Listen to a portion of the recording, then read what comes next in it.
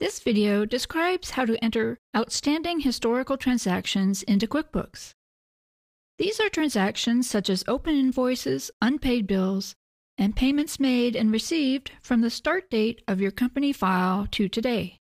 Entering historical transactions helps ensure that your QuickBooks records will be completely up to date going forward from your start date and that your reports will reflect your business accurately. And fortunately, you don't have to enter these transactions right away before you even know how to use QuickBooks. Just watch these videos in the course and then start using QuickBooks for your current day to day transactions. You can enter the historical transactions later when you find the time, but just keep in mind that the balances in your accounts and the figures in your reports might not be accurate until you enter all the transactions back to your start date. When you are ready to enter historical transactions, Come back to this video to remind yourself how to do it. There are a couple important things, well, let's say three important things to keep in mind when entering historical transactions. First, when you enter an historical transaction into QuickBooks, use the date of the original transaction, not today's date. By default, QuickBooks uses today's date or the last date that you entered. So when you create an historical transaction, just double check that the date in the QuickBooks date field matches the date of the original transaction. The second thing to remember is that when you create these historical transactions in QuickBooks, and let me just open an invoice to show you what I'm talking about.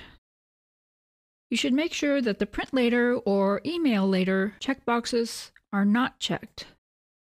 And this is because you are just recording an invoice you've already sent and you don't want to send the invoice or any other transaction to the customer again. The third thing is that historical transactions should be entered in a particular order. And the QuickBooks homepage kind of helps you with that order. So let's go over the homepage and I'll show you what I mean. So transactions on the homepage are laid out on the homepage with arrows. The arrows show the workflow, and that is pretty much the order to follow when entering historical transactions. So let's start with vendors. The first three I will talk about apply only if you track inventory. So you would first enter the purchase orders if you use purchase orders, and that way, when you enter a bill for the inventory, you can associate the bill to the purchase order. After entering the purchase order, you can enter the bills for the inventory. And you either enter the bill when you receive the inventory or you enter the bill after you receive the inventory.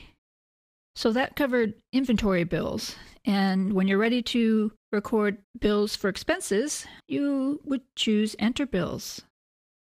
And before paying bills, if you have any credits with a vendor, you would need to enter the credits. So to do that, enter bills and change this from bill to credit.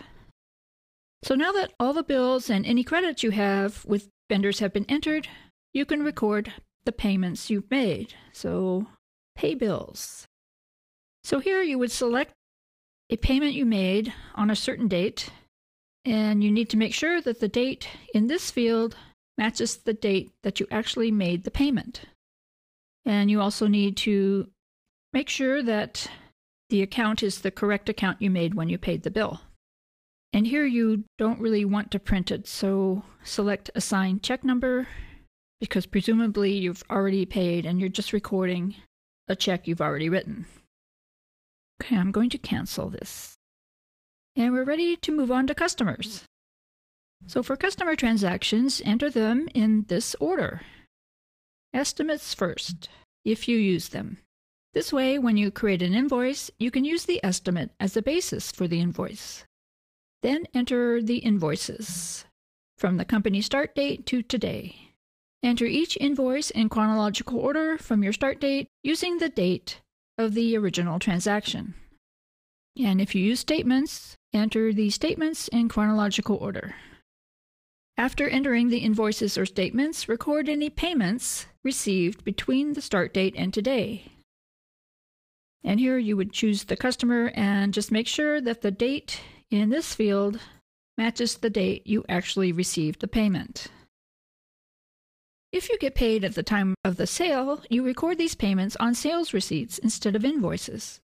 For historical sales receipts, enter each sale in chronological order from your start date using the date of the original transaction. So after you enter the invoices, statement charges, or sales receipts and record any payments, your customer balances will be up to date. If you've given any refunds or credits to customers, you would enter them here Next, you need to record these payments from invoices and sales receipts as deposits. And here you would select the payments you made on a particular date and click OK. And here you need to make sure that this date is the date you actually made the deposits and this is the correct account. You would repeat these steps for each separate deposit you made on different days. And now for the final phase of historical transactions. And that's banking transactions. These are checks you wrote other than to pay your vendors and deposits you made other than from customers. As you entered the historical transactions, QuickBooks recorded checks to vendors as you paid the vendor bills and deposits of payments from customers. So you want to make sure that you don't duplicate those that QuickBooks has already recorded for you. If you wrote checks after your start date for items other than vendor bills, for example, you wrote a check at the office supply store, Enter these checks in the Write Checks window.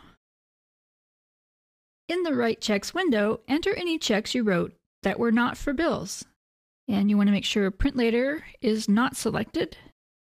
And in the number field, type the actual number of the check. And this is because you don't want to actually print the check, you're just recording a check you've already written. And you would fill in the rest of the check as described in the video that covered writing checks. And now you can enter any deposits made between your start date and today. And to do that, click Record Deposits.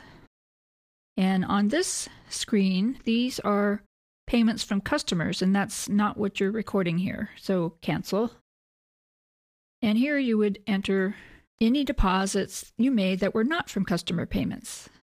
And again, check that the correct account is selected and the date of the actual deposit. If you made any transfers between accounts after your start date, you record that using banking transfer funds.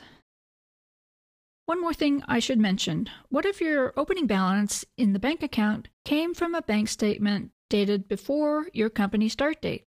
Even though those transactions would be from before your start date, you should enter all uncleared checks and deposits between the statement date and your company start date, so they will be there when you reconcile the account. As with your bank accounts, you need to enter any credit card charges and payments you made to your credit card account between your start date and today. And if you have a savings account, you would need to record any historical transactions to that account. So, after entering historical transactions, a good report to look at is Open Invoices. And here you can compare your stack of paper invoices with the report to make sure you've entered them all. And same with unpaid bills. Compare the list in the report with your stack of bills to make sure you've entered all the bills in your stack. And finally, after entering historical transactions, have your accountant review everything to make sure you're starting QuickBooks with accurate numbers.